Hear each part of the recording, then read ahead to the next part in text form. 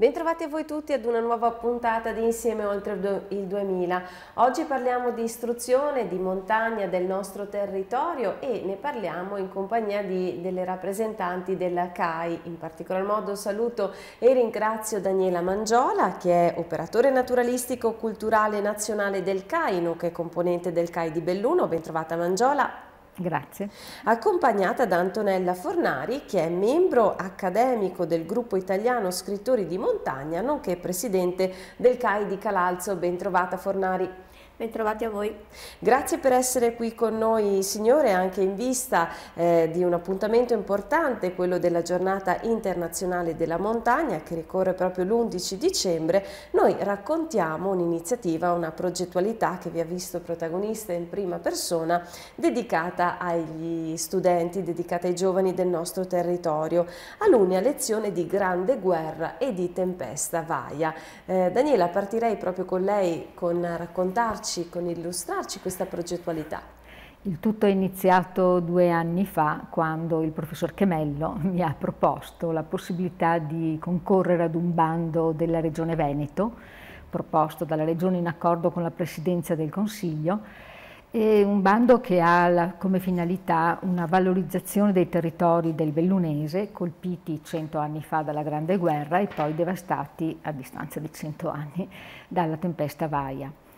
E mm, la cosa mm, mi è piaciuta perché mi dava la possibilità di rientrare in qualche modo in classe e mm, oltretutto il CAI di Belluno ha una, una, stretta relazione con le scuole, quindi è facile avere le porte aperte e quindi abbiamo proposto questa iniziativa al, alle scuole, un'iniziativa, un che prevedeva due, in, due interventi, una in classe di preparazione di lezione, una lezione dedicata alla Grande Guerra come fatto storico ed una seconda dedicata appunto alla tempesta Vaia e a queste lezioni doveva poi seguire un'escursione. Prima di questo però dimenticavo, eh, c'era anche è stato realizzato un convegno rivolto agli insegnanti in preparazione di questa attività. Ecco, eh, alunni di che età parliamo? Abbiamo coinvolto le terze medie, perché legate chiaramente allo studio della Grande Guerra, e le superiori, le quarte delle, degli istituti superiori. Quali sono state le sinergie che avete presentato ai ragazzi, comunque le similitudini o eh, i riferimenti diciamo, a questi due macro temi? Beh, io ho sviluppato il tema Vaia, quindi ho presentato la tempesta, grazie chiaramente alle tecnologie moderne la possiamo rivedere in azione perfettamente, mettendo in evidenza gli effetti che ha avuto sul territorio, soprattutto sui boschi, ma non soltanto, tutti pensano alla tempesta Vaia come la distruttrice del bosco, in realtà è stata anche distruttrice della montagna e ci sono degli studi fatti dall'Università di Padova che ce lo dimostra eh, per cui si illustrati questi effetti sul territorio, mi sono però anche soffermata ad evidenziare la reazione della popolazione, quindi quello che io ho definito l'uomo di montagna, quali, essere, quali, sono le sue caratteristiche come non, non sia un soggetto che nasce in montagna automaticamente ma si debba formare e sia chiaramente un'esperienza non semplice e non facile. In più ho evidenziato come la frequentazione della montagna sia cambiata attraverso i secoli e si prospetti, si presenti ora in una modalità che è poco rispettosa dell'ambiente stesso. Quali sono state, eh, Mangiola, un pochino le reazioni degli studenti anche nell'affrontare queste tematiche? Per quanto riguarda la mia lezione, io ho un unico commento a caldo che mi è stato fatto, che mi pare quanto mai significativo, un ragazzo di terza media della scuola Tina Merlin di Belluno, alla fine della lezione mi ho chiesto, beh, vi è piaciuta, vi è interessato? Fa, guardi, io di solito non ascolto nulla della lezione, questa volta non ho perso neanche una parola. ecco. La spontaneità, insomma, ecco, dei diciamo, nostri la giovani. mi, la mi conforta, ecco. Antonella Fornari, lei eh, come rappresentante appunto del gruppo italiano Scrittori di Montagna ha descritto gli effetti della guerra sulla montagna modellata dal lavoro dei soldati. Ecco, eh, oltre a questi c'erano anche gli effetti sulla psiche eh, dei combattenti stessi. Anche con lei mi piacerebbe avere la sua impressione. Ecco, eh, sicuramente la Grande Guerra ha avuto un effetto devastante sul territorio soprattutto ed è per questo forse che abbiamo trovato anche questo modo di collegare quello che è stato anche l'evento catastrofico di Vaia, quindi eh, collegare quegli eventi che hanno lasciato un profondo segno sul territorio, purtroppo un segno negativo, ma non solo a dire il vero.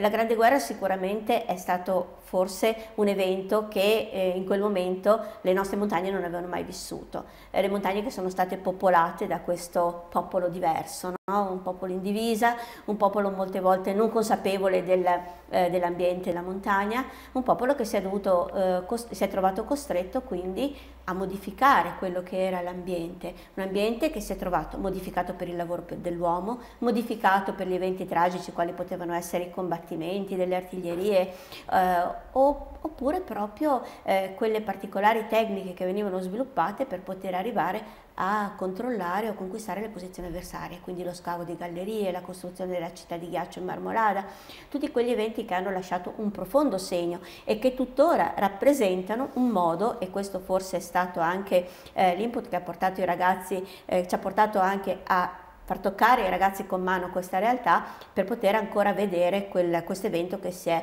materializzato, che si è creato sulle montagne. E come tutti i grandi eventi, come del resto anche Vaia, anche la Grande Guerra ha lasciato dei segni profondi non solo sulle montagne, non solo nell'ambiente, ma anche in quello che poteva essere l'equilibrio delle popolazioni. Quindi il cambiamento innanzitutto, la presenza di questo popolo sulle montagne, di questo popolo nei paesi, cambiamento di quelli che potevano essere gli usi e i costumi, cambiamenti che a volte sono stati positivi, a volte negativi, cambiamenti nelle, anche nelle consuetudini, nelle cose di, piccoli, di tutti i giorni, come potevano essere anche le abitudini alimentari, il modo di vestirsi, il modo di approcciarsi alla montagna. E poi la devastazione sulla mente di questi ragazzi, di questi uomini che all'improvviso si sono sono, sono stati costretti ad abbandonare la quotidianità per salire sulle montagne ed affrontare non solo la guerra, ma questo altro grande, straordinario, affascinante avversario o nemico, chiamiamolo così, in quel momento che poteva essere la montagna. Quindi è chiaro che questi eventi catastrofici, vai a grande guerra, hanno avuto sebbene all'apparenza non ne diano tanto l'idea, hanno avuto proprio il modo di essere collegati, quindi anche con Daniela abbiamo avuto modo di ritrovarci anche su molti temi da poter discutere con i ragazzi in ambiente e questo è stato estremamente positivo. Infatti stiamo vedendo anche grazie all'aiuto della regia proprio delle immagini, delle fotografie che ci testimoniano queste eh, visite, queste esperienze che voi avete condotto. Ci ricorda eh, Antonella appunto alcune, eh, alcuni luoghi Ecco, anche questi luoghi, anche con Daniela, li abbiamo un po' scelti. Diciamo che io sono una frequentatrice assidua perché tutti i miei lavori sono concentrati sì sulla montagna, ma soprattutto sulla grande guerra, sui segni, sulle storie, le piccole storie. Dico sempre la piccola storia di tutti i giorni che si inframmette, che si inframmezza quella che è la grande storia. E abbiamo cercato di scegliere anche dei, eh, delle mete che non fossero particolarmente faticose e quindi dessero ai ragazzi la possibilità di fermarsi ad ascoltarci e soprattutto soprattutto ad osservare, perché questo di osservare l'ambiente, di osservare la natura purtroppo è qualcosa che ai nostri ragazzi a volte manca. E quindi questo è stato un momento particolare. Per cui dalle pendici del Sasso di Stria a svolgere l'itinerario dedicato a Gilberto Salvatore, che era un, vecchio, un compianto presidente della sezione del Club Alpino di Villalongo, uomo di centro Italia, quasi al sud, il quale era appassionatissimo di montagne, quindi si è trasferito alle postazioni della Cresta Gallina, del Col Gallina, affascinante perché lì sono state anche in parte eh, ricostruite, al villaggio Falzarego, Rudir del villaggio Falzarego, quindi luoghi eh, che oltre alla magnificenza della montagna di fronte a cui molti ragazzi sono rimasti a dire il vero estasiati. Infatti proprio questo mi piaceva chiederle, cosa ha letto nei loro occhi? Allora, difficilmente, devo dire tu Daniela dimmi, difficilmente ho letto noia. Eh, c'era sempre la curiosità per qualcosa, perché comunque la montagna ad ogni passo ti offre eh, qualcosa su cui riflettere. E questi luoghi sono luoghi, non abbiamo scelto luoghi di grandi combattimenti, ma luoghi dove si viveva. E quindi i ragazzi sono estremamente affascinati da, da questo e soprattutto dal, dal ritrovo delle piccole cose che ancora il territorio offre eh, per loro era straordinario trovare magari, non so, il bossolo di, una, di, una, di un colpo di fucile, eh, un pezzo di vetro, un frammento di porcellana, qualcosa che ricordasse quella vita su cui poi ricostruire le storie. Però c'è anche il risvolto della guerra, che non è solo la vita di tutti i giorni, come abbiamo potuto vedere e come abbiamo potuto assaporare, ma c'era anche il risvolto di del prezzo chiesto da questa guerra. Per cui abbiamo pensato alla fine nostre, delle nostre uscite, l'ultima delle quali è stata dedicata al centro Cadore anche per questioni meteorologiche, ma è stata un'esperienza molto positiva restando in bassa quota al Col Ciampon e ai piedi del Monte Tudaio però di eh, chiudere queste esperienze con la visita ad un sacrario, quindi il contatto quello che è il risvolto veramente doloroso della guerra che è la perdita della vita.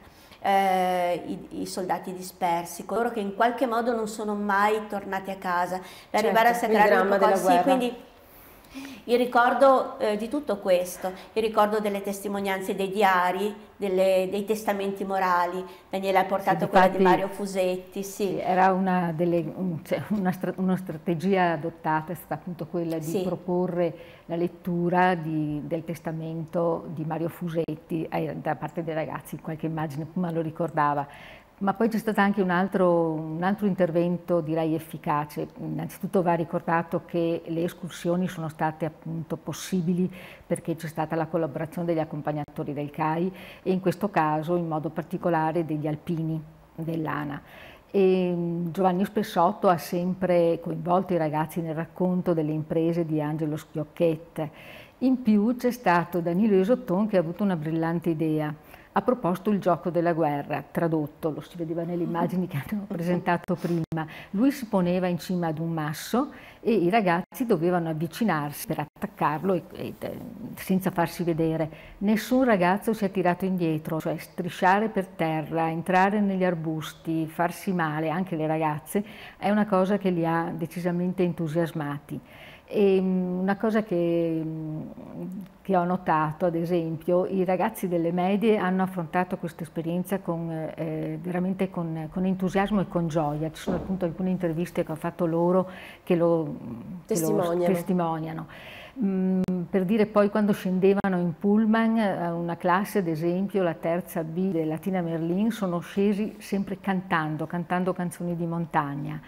E I ragazzi delle superiori sono scesi dormendo, quindi una, sì, differenze anche di età, di, magari modi diversi molte, di approcciare. Mh, mm, ecco il la... coinvolgimento è diverso, certo, sì, sicuramente sì. è diverso. Senta eh, Daniela, il nostro tempo purtroppo eh, sta, sta, per concludersi, però diciamo mh, mm, con questa iniziativa qual era comunque l'obiettivo eh, del CAI, di questo, di questo progetto?